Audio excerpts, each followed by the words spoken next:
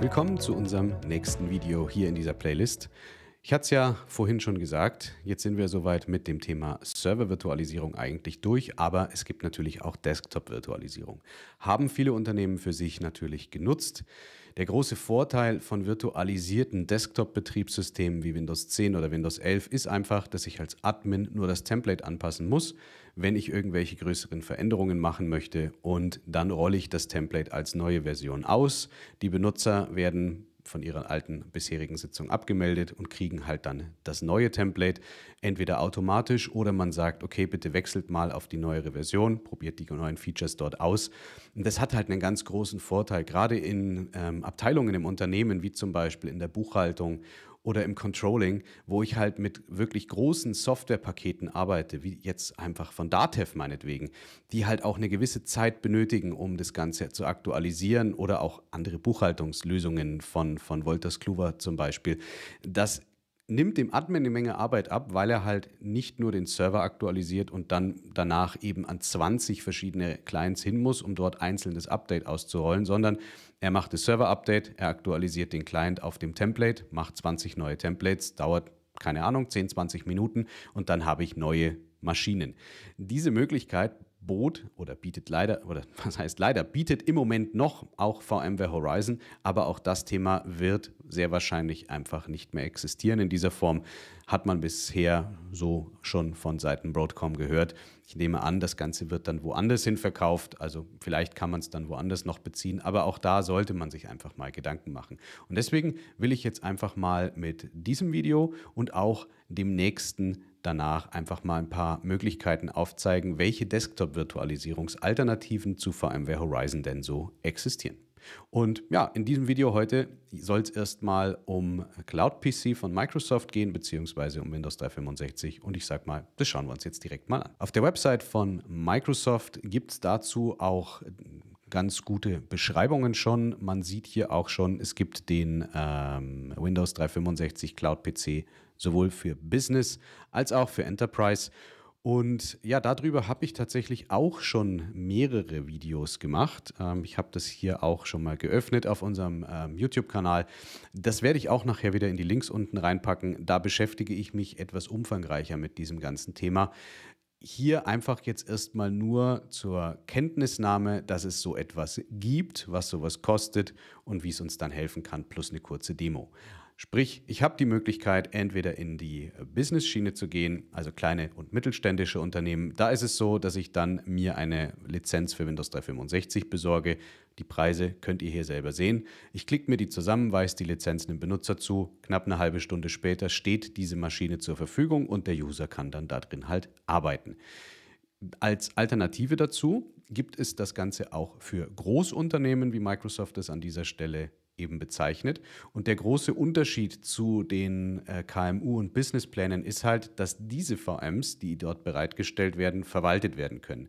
In der Business-Variante ist es einfach ein ja, out of the box Windows 10, Windows 11, da ist nichts drauf, ich kann mir meine Sachen installieren, ich kriege immer wieder den gleichen Rechner. Bei der ähm, Großunternehmer-Variante ist es so, dass die Verwaltung dieser Geräte automatisch über Intune stattfindet.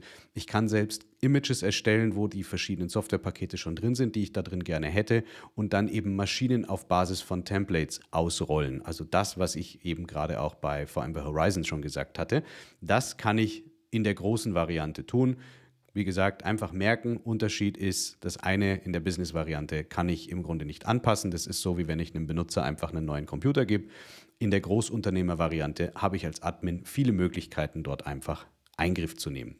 Und ja, das macht definitiv Sinn, vor allem weil die Skalierung in der Großunternehmerstruktur eine ganz andere ist. Es ist halt nicht ein Benutzer, ein PC, sondern ich kann Skalierungsgruppen bilden. Das heißt, ich kann auf der einen Seite sagen, entweder ich möchte, dass immer zwei PCs in Reserve stehen. Wenn jetzt jemand Neues sich mit der Umgebung verbindet, kriegt er entweder random irgendeinen oder immer den gleichen.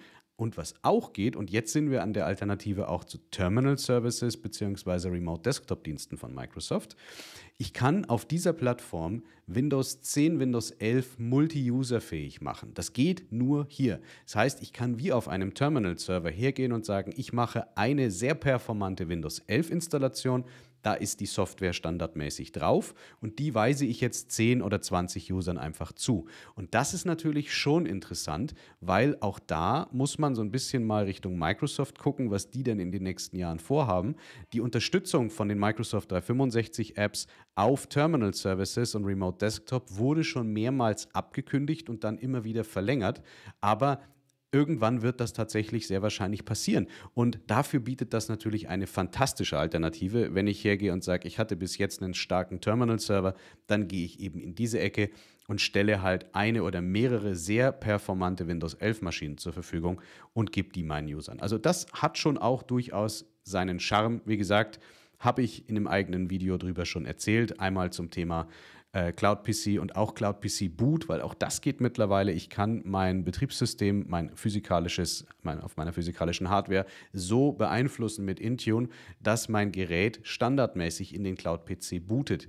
Heißt, ich habe die Möglichkeit, mich sogar zu entscheiden, möchte ich jetzt privat was tun, dann nutze ich das Betriebssystem, was lokal installiert ist. Will ich arbeiten, dann nutze ich das Betriebssystem in der Cloud. Also das eröffnet eine Vielzahl von sehr coolen neuen Möglichkeiten und äh, nicht zuletzt natürlich auch eine gute Sache für die Integration zum Beispiel von Freelancern oder der Lieferkette in die eigenen Systeme und Applikationen, indem ich halt nicht hergehe und sage, hier ist irgendwie ein VPN-Zugang, arbeite damit in meiner Umgebung, sondern der Lieferant oder der Freelancer bekommt einen Cloud-PC, der ist in meiner sicheren Umgebung und da drin wird dann gearbeitet. Gerade in Richtung Compliance und ähm, ja, zertifizierungspflichtiger Unternehmen, sei es jetzt BaFin oder TISAX oder oder, ist das schon eine sehr coole Möglichkeit.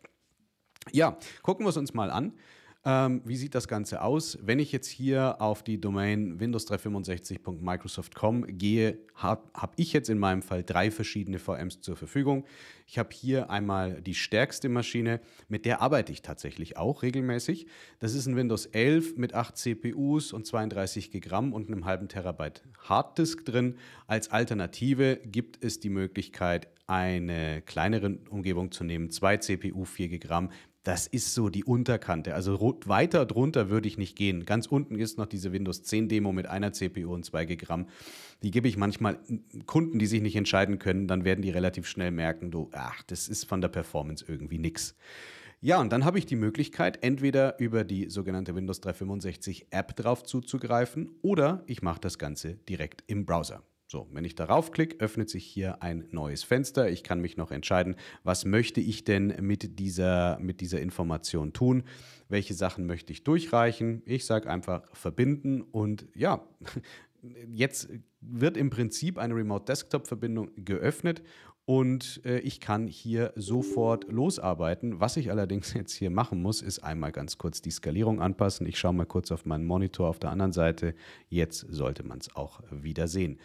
Ja, und äh, dann bin ich hier tatsächlich schon drin. Ich habe hier meinen, meinen Cloud-PC. Es ist ein ganz normales Windows. Ich bin standardmäßig angemeldet, weil ich ja schon in meinem äh, Gastbetriebs, also in meinem Host-Betriebssystem auf meinem Laptop angemeldet bin. In Edge bin ich auch schon angemeldet, deswegen wird hier einfach Single Sign-On die Anmeldung durchgereicht. Ich kann dieses System so benutzen wie einen normalen Rechner und was man vielleicht sieht, ich habe hier sowohl Kali Linux mit ähm, Windows Subsystem für Linux laufen, als auch Hyper-V. Das ist nämlich genau die Maschine, mit der ich die Demos für Proxmox und Hyper-V gemacht habe. Das heißt, ich kriege sogar eine Hardware, die die sogenannte Nested Virtualization unterstützt. Ich kann auf einer bereits virtualisierten Umgebung weitere Virtualisierung betreiben. Und wir hatten es ja gesehen, ähm, das ist jetzt eine Maschine, die läuft bei Microsoft im Rechenzentrum. Da drauf, drauf läuft Hyper-V als Rolle. In dem Hyper-V wiederum läuft Proxmox und in dem Proxmox wiederum läuft ein Windows 11. Also äh, sehr verschachtelt, aber funktioniert, kann man machen. Und äh, ich finde das tatsächlich eine sehr coole Möglichkeit. Dadurch, dass ich ja hier schon angemeldet bin, habe ich auch direkt die Möglichkeit, so weiterzuarbeiten, wie ich es auf meinem normalen Rechner tue. Heißt, natürlich dann in der Folge, dass ich das gleiche natürlich auch mit der App von meinem Tablet machen kann. Ich kann es vom Smartphone aus machen. Ich kann es vielleicht auch von einem öffentlichen Rechner aus tun, wenn ich gerade unterwegs bin und ich habe nichts dabei, sofern es denn die Sicherheitsrichtlinien zulassen. Also das eröffnet wirklich eine Vielzahl von sehr guten Möglichkeiten. Ich habe hiermit schon tatsächlich an der Nordküste Sardiniens am hinterletzten Zipfel dieser Insel mit meinem Telefon einem Benutzer sein Kennwort zurückgesetzt, weil es halt funktioniert. Und das ist schon glaube ich, ziemlich cool. Und ja, wie gesagt, für alles weitere, was Demo-Zwecke angeht, guckt euch das an, eigene Video dazu an, beziehungsweise ich habe dazu mehrere Videos gemacht und ja, damit kehren wir zurück zu meinem Desktop. Also ich finde, das ist auf jeden Fall auch ein Thema, was man sich mal angucken sollte.